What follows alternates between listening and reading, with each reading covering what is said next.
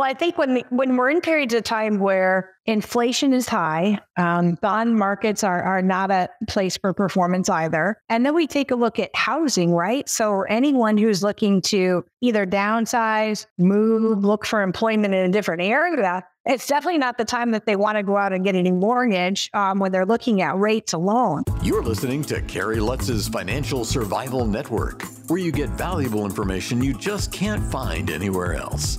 To thrive in today's trying times, you need the Financial Survival Network now more than ever. Go to financialsurvivalnetwork.com and get your free newsletter and gift. Financial Survival Network now more than ever. And welcome. You are listening to and watching the Financial Survival Network. I'm your host, Kerry Lutz. Hey, it's Friday just before Memorial Day weekend, the official start of summer. Although the official start of summer in Florida is, it doesn't have an official start. It's always summer here. It's just hot and hotter.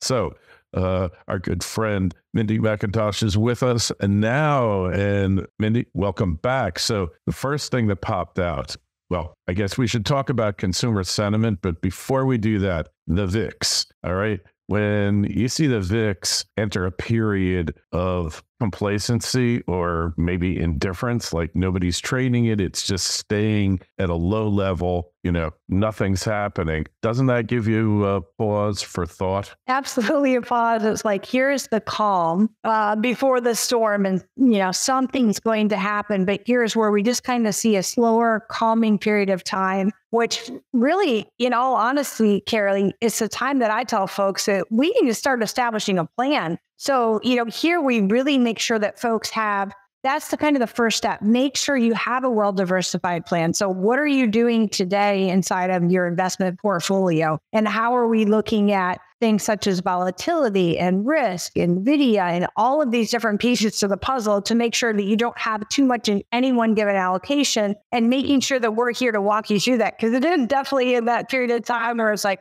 oh my goodness, we're at around 12 and we know what that means when history repeats itself or just kind of something is brewing and coming up. All right. So now combine that with the uh, consumer sentiment report in May, which uh, fell further. The Michigan uh, University of Michigan's consumer sentiment index, you know, uh, falling 8.1 points uh, month over month. Um, you know, maybe uh, the consumers know something we don't. Well, I think when when we're in periods of time where inflation is high, um, bond markets are are not a place for performance either, and then we take a look at housing, right? So anyone who's looking to either downsize, move, look for employment in a different area, it's definitely not the time that they want to go out and get a new mortgage um, when they're looking at rates alone. And then how do they hedge those when you're looking at, you know, what does wealth instruments look like for them? And they might be looking at, you know, short term CDs right now are definitely outperforming long term. We take a look overall in the market. I mean, gosh, how long are they going to continue to say you can earn five plus in a in a six month CD? And yet, how do we look at the next 10, 15, 20, 30 years down the road? So we have to be super careful of what staple items, where folks are still spending their money, how we want to actually influence this, and really what the feds are going to do and when we see the rates are going to be cut. So we got to make sure that we're well, we're well looking ahead. We're making sure that we're not spending too much money in any one given area. We here even have a process and we look at that with folks to say, where should we be weaning a little thin and what should we be diving into even from our investment standpoint? You have a few extra bucks. Where should we be? And not too heavily weighted in one sector. Yeah. Yeah. Uh, yeah. You know, it's, it, it's interesting because uh, that indicator is pretty, uh, pretty consistent, isn't it? Very. Yeah. And the indicators just show that we don't want people to run fearful, but we know that something is coming. So they have to make sure that they have their investment and even their healthcare philosophy set in place, especially for we work with a lot of people that are in nearing retirement. It's kind of our specialty here and really helping people focus on retirement made clear. So you think of that if they're getting ready to retire for a time to retire, and we see those VIX at 12, you know, we don't want them running scared, but we need to have the appropriate plan for where, how are they going to instill income to not outlive it in retirement? And what things should we be doing looking at in the short term versus the long term? And then how do we set that around their goals of what they might want to do throughout their retirement years? it really is a time, a pivotal time point that we have to look at all these indicators. Yeah. Yep. Couldn't agree with you more. And, uh, you know, the nobody's talking about a soft landing anymore. You know, you, you don't hear much. Nobody's saying inflation's transitory. Now we find out it's not transitory, it's sticky, right? And uh, maybe it's semi permanent at this point. So, you know, it looks like uh, the meme makers out there at the Fed and uh, and Treasury, they're kind of losing their grip on things. Absolutely. And you know, those are those are things too that we need to look at. When we take a look at even just the rise in inflation, you're talking about interest rates, the Feds, how are they going to cut rates? You take a look at even our national debt um, and what we're looking at there. And I think some folks don't even realize how cheerful we need to be about legislative risk um, and taxation later in life, even when we take a look at portfolios. So we're always taking a look at folks and look at even the taxable standpoint as a nation. How are we going to cut rates where are we going to have our, our um, taxpayer dollars spent? And make sure you're preparing for that as you're getting ready for retirement. Tax free is the envelope to go in. And there's just different ways we could help you to make sure the consumers are holding on to as much of their dollar as they can. Mm-hmm. Hey, so, so what's your take on uh, with what's happening in the banking sector now? Well, we're seeing a lot of mergers, acquisitions. Um, banking is really taking it overall, especially here in Michigan, with you know how how much we're seeing transitory there and transitioning. And I think that we have to really take a look that obviously we're seeing CD rates, um, banking rates, what's happening, what are new folks moving into the area. So I think some folks who just have some cash on hand why not get into a, a six month CD? But on the flip side, we should be using treasuries and they don't have the state tax here in Michigan um, to be able to be doing that. So there's little nuggets that, you know, we can be making sure that we're using treasuries instead of CDs. And as we take a look at the bank, some people aren't real comfortable in feeling that their money is going to be super safe sitting there. And when we talk about the stick ratio, people want funds in cash. How can they readily utilize them?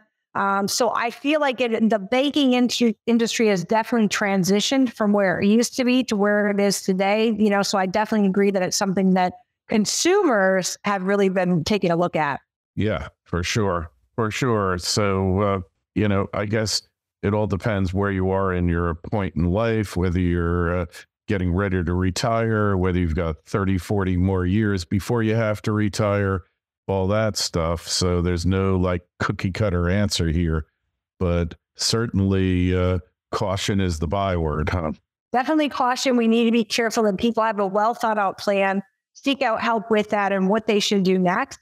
So that way we know life changes, we know there's change coming, but we want to make sure you're not hit with that surprise uh, because you're you're definitely right, Gary. I don't think we're going to see a soft landing here. So you need to be prepared and make sure that we're working together to walk through this and navigate on how you should be set up so that you don't have that that big huge surprise. Because some people like surprises on birthdays. Outside of that, we want to make sure we have a well thought out plan. hey, so uh, the one thing that gives me a little solace is you know the old saying that uh, uh, economists have predicted five out of the last two recessions, right? Sure. Yeah. yeah. So when we take a look at that, it does help. I mean, I think that as long as we can look ahead, look at these indicators, right? We need to look at unemployment rates and what's happening in consumer staples. So these are all indicators that do help us to look ahead to make sure that we are well prepared to know what has happened in the past, where we at currently, what do we see coming? Because we're definitely in a different um, train point in a different world that we than what we ever have been, in my opinion as we look at rates and interest rates and really this inflationary period of time. Yeah. So, what's your take on uh, cutting rates? Uh, are we going to see it? Are they going to hold off to the last possible moment? What are they going to do? I feel like they have to hold the last possible moment. I'm not sure what we're going to exactly see with rates, but I don't feel that we're going to see, you know, oh, we're going to actually see banks cut rates, housing numbers go back to where they should, interest rates make some changes and transitions. I think we're going to wait till the last possible moment they need to do so. And I don't think that what folks are expecting to see for the level playing field leveling back out, we might have, you know, be in a period of time where that bar got set a little bit different. And this might be somewhat more of the new norm, uh, at least from what I've been seeing. Yeah. Yeah. You know, uh, that's a that's a little scary. Well, one thing though, the unemployment numbers have held up pretty well. They're up in some states, down in others. Uh, you know, generally it's all in the revisions, right? Isn't that right? Yes. It's in the revisions and how they're going to uh, uncover that and watch that. I mean, we definitely need to see, there's periods of time where you see, okay, we need more folks purchasing homes and selling and moving into new areas. But when we take a look at unemployment, those numbers look good. Um, people are still going out. The consumer staples are fine. We're still seeing people traveling. So that's why I think sometimes we're going to see a hold on this. Now, eventually is going to need to happen and make some changes, see some, you know, we really needed to see a period of time where inflation um, and interest rates and, bond prices are all kind of on this teeter totter. Well, we'll see that leverage out at some point. I just, I think they're going to hold off a bit. Yeah. Yeah. And, you know, one thing uh, I learned over the years is that, you know, what's happening in the economy is always important, but sometimes the flow of funds coming in from uh, the rest of the world is really more important. And we see like the flow of funds going into China is stopped, gone. Like nobody's putting money in there. They're getting the heck out. Um, so a lot of flight capital from China as well as other parts of the world are are coming here, right? Yeah, I mean, so that's nice. If we can keep it in the states, we've definitely seen that. The um, the trade, we're continuing to see that more and more inside the U.S., which is helpful. It does help our economy, which means that why would they need to change some of the additional items? They've already done that they pivotally changed some exterior barriers, um, which I mean, I think is going to just continue to try to help the consumer staple here. And then how do we actually look at that for revenues down the road and how feds are going to handle this? And just globally, where are we seeing that? So I just still say be cautious and look ahead.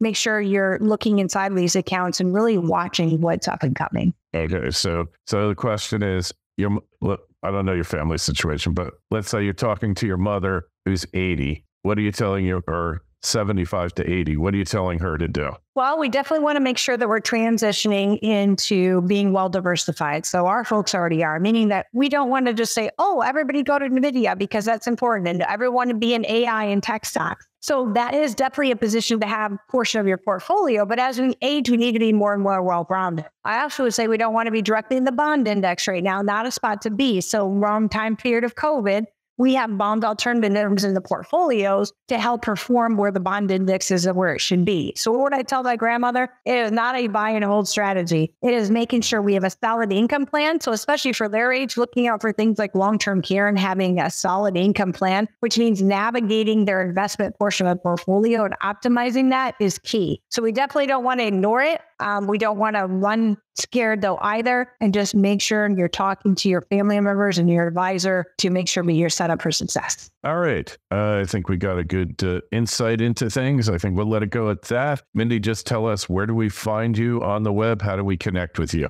So, in order to connect with us, please go to wealthmichigan.com. Um, some of you might be interested in our toolkit and our new book titled Cultivate Wealth. It can talk to you about some of these things that we are seeing currently in the market. Um, and so we'd be happy to help you there. So wealthmichigan.com or McIntosh Associates. All right. Excellent. And of course, the link is in the show notes to this interview on financialsurvivalnetwork.com. When you go there, please sign up for your free newsletter. Mindy, it's always a pleasure. And uh, hey, we'll try to put the link in to get your uh, toolkit as well. And we'll talk to you again soon. Thanks, Kerry. Appreciate it.